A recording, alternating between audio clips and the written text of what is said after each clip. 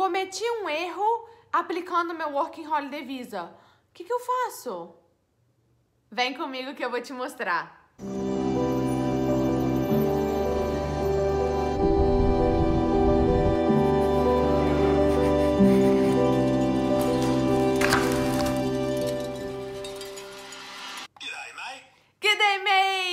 Mais um vídeo sobre Working Holiday Visa aqui na Austrália. E hoje eu vou falar sobre um assunto que surgiu muito essa semana muitas pessoas cometendo erro na hora de aplicar o Working Holiday Visa. Mas antes de tudo, não esqueça, inscreva-se aqui no meu canal, deixe o seu like. Se perdeu qualquer outro dos meus vídeos sobre o Working Holiday Visa, seja a categoria 417 ou a 462, dá uma olhada aqui em cima que eu vou colocar a playlist para vocês. Eu tenho experiência com esse visto já tem oito anos, já passei por tudo eu mesma, já ajudei muitas pessoas com a minha consultoria.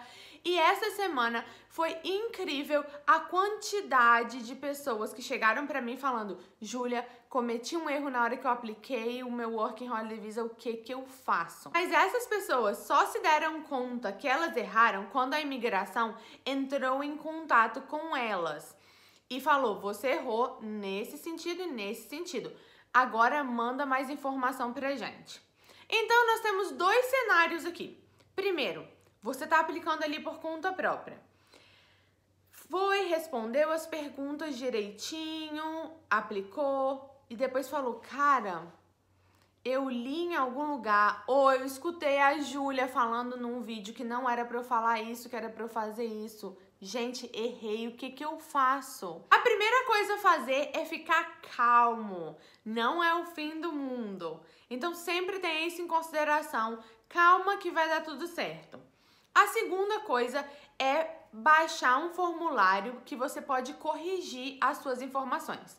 Seja informações pessoais, seu passaporte mudou, alguém roubou seu passaporte, você perdeu algum documento, qualquer coisa que aconteceu, você pode baixar esse formulário, preencher tudo certinho e mandar para a imigração através da sua conta IME.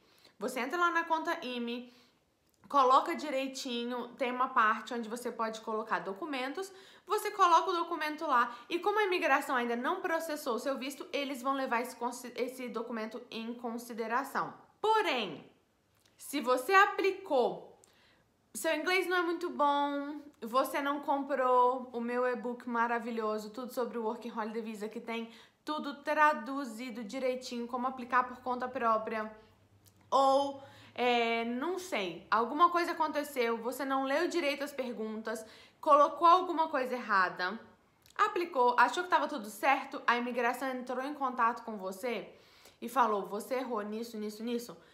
Mesma coisa, calma, nada de desespero, nada de ficar louco, falar, ai meu Deus, a imigração tá vindo me encontrar. Não, a imigração não está na sua porta. Eles não estão indo te encontrar.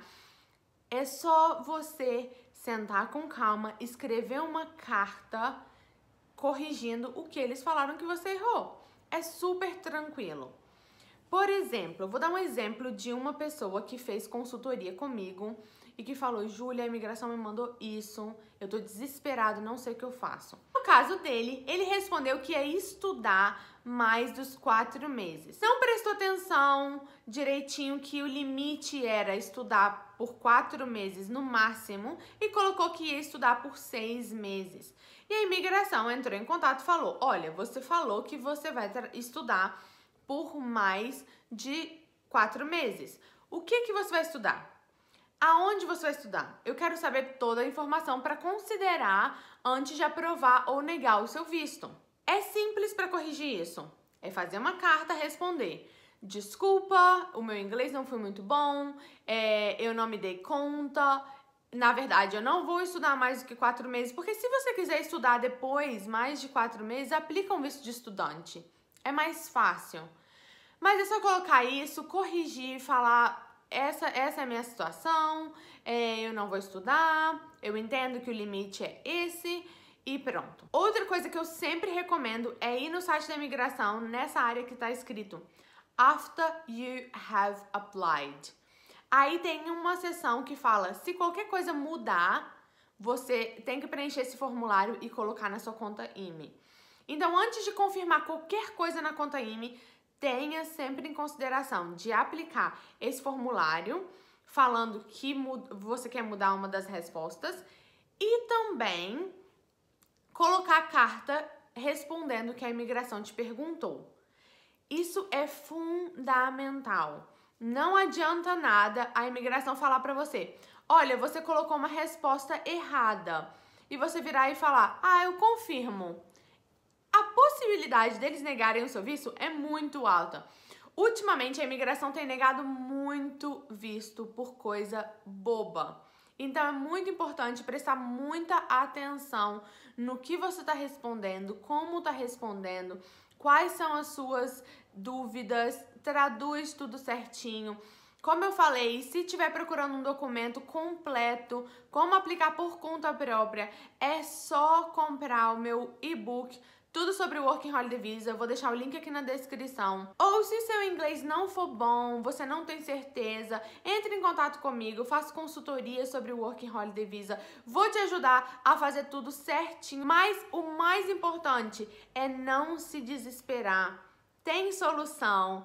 No site da imigração tem tudo certinho. É só entrar lá, preencher o formulário e tem que sempre ser honesto com eles e colocar todas as informações possíveis que eles vão aprovar o seu visto. Se tiver qualquer dúvida sobre o Working Holiday Visa, não esquece, deixa aqui embaixo nos comentários que eu vou responder. Tô sempre aberta a ajudar. Muita informação no meu blog likewanderlass.com. Só entrar aqui. Se quiser, vem fazer parte da nossa comunidade lá no Facebook tudo sobre o Working Holiday Visa, link também aqui na descrição. Muito obrigada por assistir esse vídeo e até a próxima!